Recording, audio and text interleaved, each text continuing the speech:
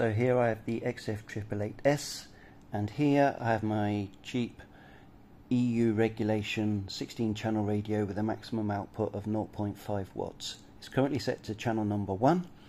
I'm now going to press down the upper small button and the push to talk button and turn the radio on while it's on channel 1. Release and it's flashing. Now I can broadcast a signal from the EU regulation radio. It's then said channel 2, so I go to channel 2 and broadcast that one.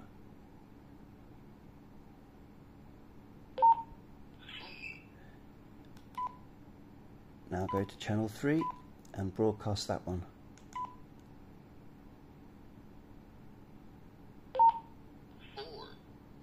Go to channel 4, broadcast.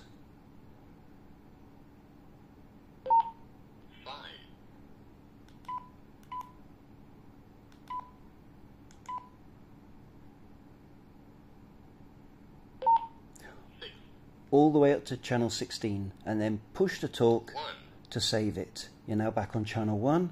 We can take this radio down to channel 1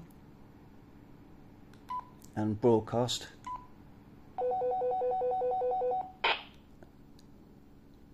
Done. Two other things is you have a high power and low power. The small button at the top, press and hold and press again and hold for low. Power low. And the bottom button, you have the battery strength. And it will do medium and low depending on how much battery is available. If you press and hold the lower button, you will get the emergency siren. Press and hold.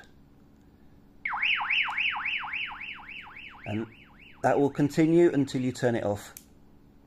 There you go. I hope that's been helpful.